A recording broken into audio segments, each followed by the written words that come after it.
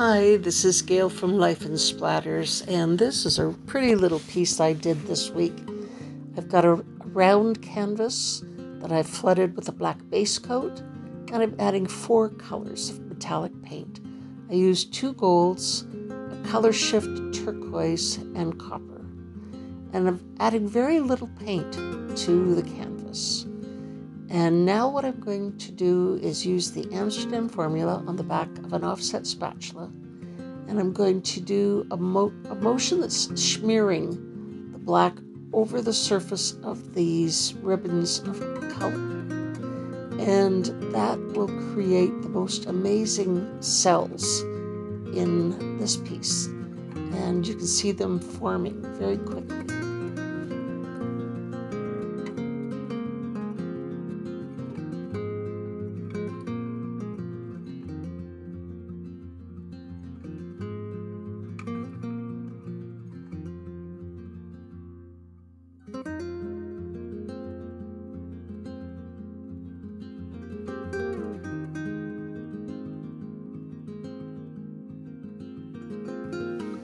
I continue to use the palette knife to draw lines through and create some depth and movement in the piece.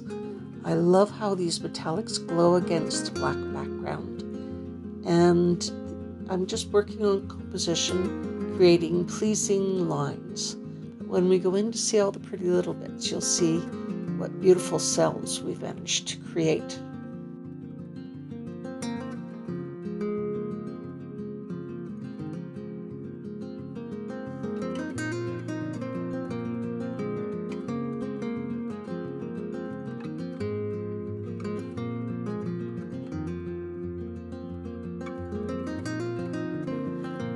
So this Amsterdam formula is one part Amsterdam black oxide paint mixed to three parts American Floetrol. And that's all it is. You add no water. It's a slightly thicker consistency than the colored paints. So when you smear it over the surface, it stretches over it and the other paints rise up through it to create beautiful, beautiful cells.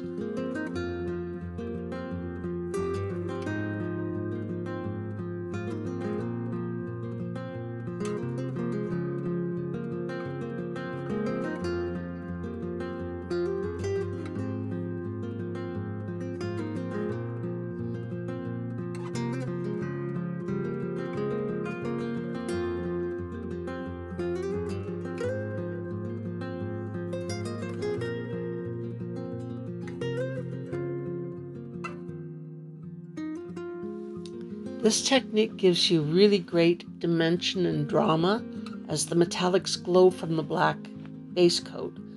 And the great big smears with the Amsterdam formula give you all these beautiful cells, multicolor cells. They're lovely shapes and they add so much interest to the piece. I think these are becoming my favorite colors to play with.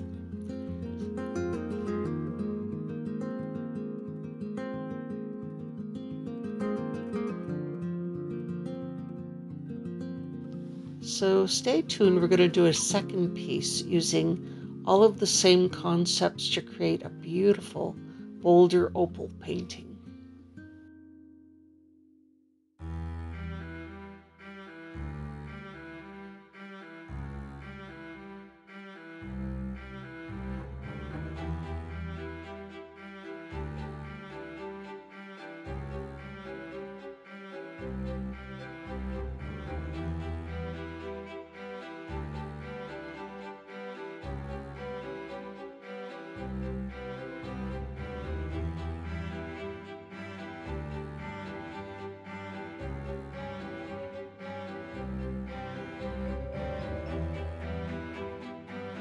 My metallic paints are all mixed one part paint to three parts American Floetrol and a quarter to a half part water, depending on the, the thickness of the paint.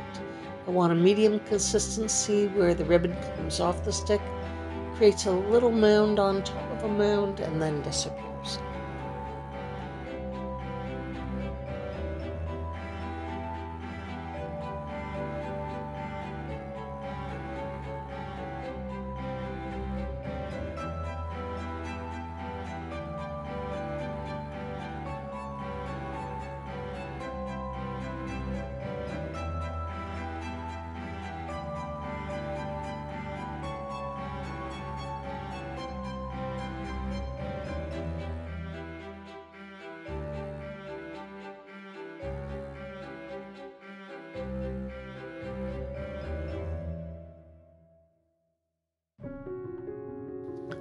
Again, I fluttered the canvas with my black paint and put on some ribbons of my metallics.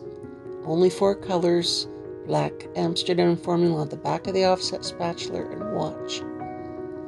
Look at the patterning that develops almost immediately after smearing the black Amsterdam formula over the surface of the colors.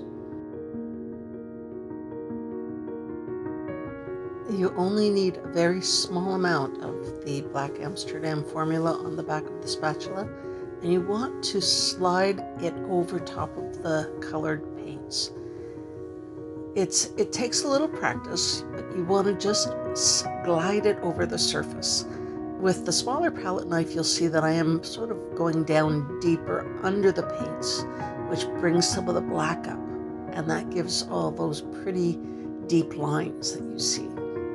Now, if there's anything about the composition you don't like, you can always add a little more paint. You can take out some paint. It depends. If this one I, I found it was a little bit too too solid in color and I wanted to add another bit of interest. So I will uh, do a black smear down uh, through the canvas and actually I add a little bit of copper to some gold area and do another great big smear create some more cells. Tilting stretches the cells, brings some more color up from between the ribbons. And I don't mind distorting the cells. Sometimes you want your cells to stay perfectly round. Other times, distortion to them can create some interesting shapes.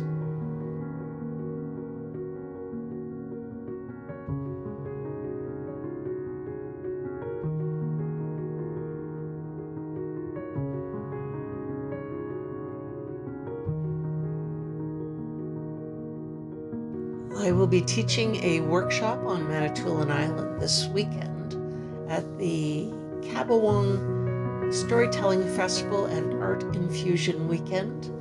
And we're going to work on paintings such as this, combining several techniques to create something really dramatic and uh, unique.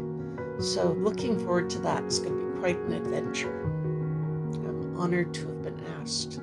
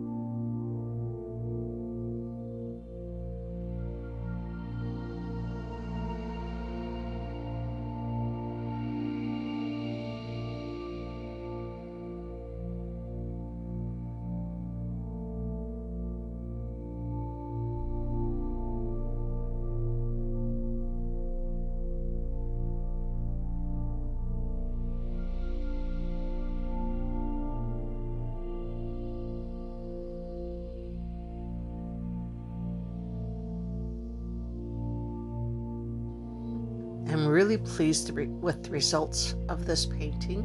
It's very dramatic. There's lots of depth and dimension. Uh, a really lovely flow, and the colors just glow. Black background is always very dramatic, but the Amsterdam formula creates these magnificent cells. So I hope you enjoyed this video and that I've inspired you to try something a little different. There's always ways to uh, play with the paint after you've done the original pour. There's smears are very effective and great big smears even more fun. So thanks again for coming along this journey with me and uh, take care. Thanks. Bye.